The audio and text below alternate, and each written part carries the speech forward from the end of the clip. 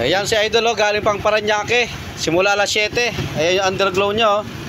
Isabay-sabay mo lahat Idol, underglow, yan lahat. Headlight. Yan. Wala na yung kurap kaninang umaga na sobra-sobra. Wala ka pang ilaw na ano. Ayan oh. Naka-power upline yan mga idol, sabay-sabay gumagana, underglow, headlight, mini driving, bali apat yung mini driving niya, dutig dalaw-dalawa, naka-underglow. Pero yung kurap kanina na sobra-sobra na wala na. Tapos ito may park light pa dito. Sabay-sabay.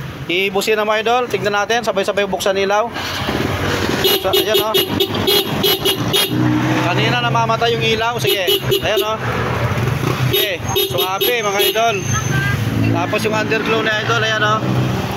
Ayan yung kulay na ano, nagustuhan na idol. Underglow. Ayan, shadow lang siya mga idol.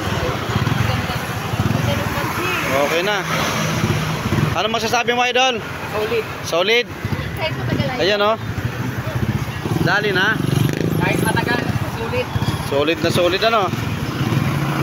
Grabe, nawala na yung kurap-kurap oh. Off natin yung makina. Sabay-sabay natin nakabukas yan. Tignan natin yung kurap kung tulad pa ng kanina. Oh. At ano yung kurap kanina na halos mamatay? Hindi siya bumababa ng 10 lang. Oh, lobat na to eh. Oo. Ayan oh, tino lang yan. Kanina pa tayo nagtitesting eh. Ayan, oh. Kanina mga idol, pag nagbusina ka, itong headlight, nawawala yan, pati neutral. Ayan. Kasi ang ginawa nung gumawa nito, lahat ng accessories na kinabit, busina, MDL, underglow, ikinabit lahat sa susian. Isang relay lang ginamit mga idol. Kaya ganun ang nangyayari pala. Kaya ngayon wala na yung problema na ni idol oh. Tapos lumakas pa idol yung busina no. Oo. Pati mga ilaw. Nalo. Panalong panalo idol. Okay ba yung labor natin na ganun idol? Kahit gabi na. Panalong panalo. Panalong panalo.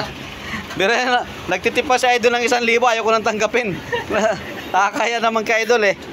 Ayan idol oh. Sama ka Oh. sa akin. Ayan oh, banatan ka na yan idol oh.